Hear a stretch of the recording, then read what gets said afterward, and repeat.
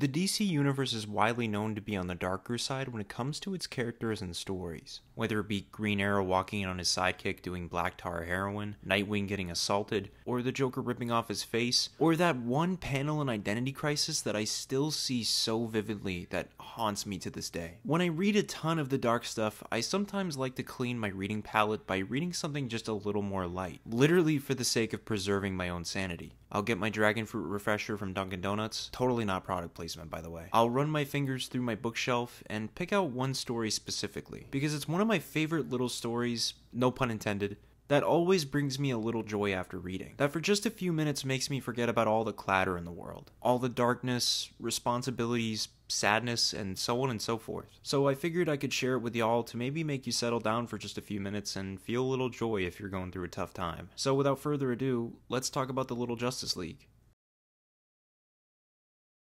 Now, at the start of the story, what seems to be Superman is trying to save a plane midair. But in his narration, he's saying that everything is a little bigger than usual. And switching over to Gotham, Batman is preying on the criminals at night, but he's narrating almost as if he's a kid. And then when he punches the thug, the thug says he's not Batman. And in the next panel, we see a little Batman telling him, Yes, I am, punk. I am Batman. While this is all happening, Lucius Fox is talking to Bruce Wayne about how the company's not doing well. But Bruce Wayne is more concerned with the news report that says Superman and Batman are fighting a villain. And while Lois Lane is in Gotham City on the phone with Clark Kent, she says that Superman's in Gotham City, switching over to little versions of Superman and Batman as they're trying to fight off Floronic Man. But they're kind of getting their butts kicked, because they realize they're not as powerful as they were in their original world. But right as everything seems hopeless, the real Superman and Batman show up and defeat Floronic Man. And the little Superman freaks out because he can talk to an alternate version of himself. Meanwhile, on the other end, the little Batman is debating with the actual Batman that he's the real Batman. And while debating this, the little Batman actually tries to fight Batman. And this starts a scuffle between the two, leading little Batman to call in the Little Justice League. As the Little Justice League arrives, it kind of all starts to turn into chaos. Eventually, they realize that everything is kind of going too crazy, so they all calm down and agree to go to the Batcave cave. And when Alfred comes downstairs to give Bruce Wayne his dinner, he kind of comes in with a surprise, with a bunch of different Justice League members all little and flying around the Batcave. Alfred seeing this, it kind of leaves him in a traumatized state. Moving along, little Batman starts to tell Batman his origin story. Then on one fateful night, he was walking with his parents after seeing a movie. A bully came across the parents and pushed them way too hard. And little Bruce, seeing his parents get pushed too hard, he vowed to strike fear in the hearts of bullies. Little Superman goes on to explain his origin to Superman, which is roughly the same as the actual Superman's. But his parents actually ended up living and they just outran a rainstorm. But as soon as they all tell their origins to Superman and Batman, Mr. Mxyzptlk makes himself present and starts to tell Superman and Batman that he made all these little leaguers appear to make Superman happy. But the real fun is only just beginning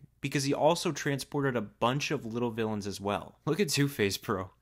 He just has pie on one side of his face. All of the little heroes are taken to the Hall of Justice to be kept safe, where they end up meeting all of their counterparts. And the little heroes are so fascinated as to what their counterparts do, like their costumes or their origin stories or who they fight for villains. But while all the little heroes are partying with their counterparts, a priority alert message comes to the Justice League, telling them that there's something going down in Metropolis, and what that something is, is the little villains, and they're running amok all over Metropolis. So the Justice League wants to go out but they need somebody to watch the Little Justice League. So they all agree to leave Batman behind to watch the Little Justice League. Meanwhile, the Justice League arrives to Metropolis ready to fight the Little Legion of Doom. But while the Justice League tries to fight the Little Legion of Doom, the Little Legion of Doom actually puts up a good fight. As the fight's going down, Batman is just butthurt that he was left behind to babysit all the Little Justice League members, as they're all just kinda napping now. However, as this is happening, some of the Little Legion of Doom members actually snuck into the trophy room inside of the Hall of Justice. And little Lex Luthor has just found the Father Box. Little Lex Luthor uses it on Doomsday to enhance his powers, but just as this happens, both versions of Superman and Batman show up to try and stop the Little Legion of Doom. But things kind of get a little carried away too quickly, because Little Doomsday literally turns into a bomb, and Little Superman tries to fly him out of orbit. Little Superman ends up being successful, blasting him out of Earth's orbit, but he gets caught in the blast radius as he falls back down into Earth's atmosphere. Superman ends up catching him, where we find out that Little Superman died sending Doomsday doomsday into space. When all of the little Justice Leaguers find out that little Superman died, they all start to cry. And that's when Mr. Mxyzptlk and Bat-Mite show up to say that they actually made a bet to see if the little Justice League members would come out of all of this alive. The bet was made to kind of prove that if you're a good person in this world, you'll end up dying no matter what. Ironically, Mr. Mxyzptlk wants to revive little Superman and call off the bet, but Bat-Mite refuses. This enrages little Batman because his best friend died and actually tries to stay in their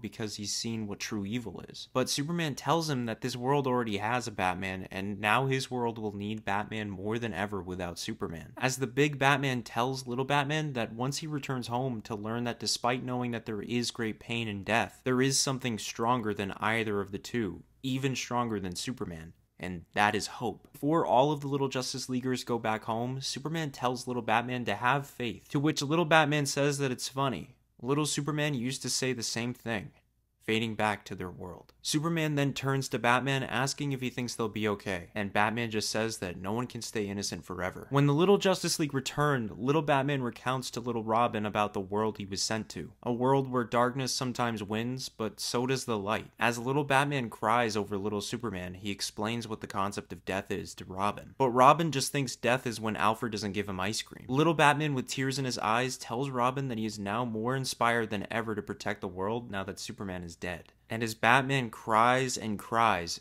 Superman starts snoring, and little Batman snaps back in confusion. As it turned out, little Superman never died, he just fell asleep for a while. Little Batman becomes happier than ever with his best friend back to life, as the two get ready to go back out to fight crime as the world's finest duo, ending the story. I hope y'all liked this video, and don't forget to leave a like and subscribe, and as always, I'll catch y'all on the flip side.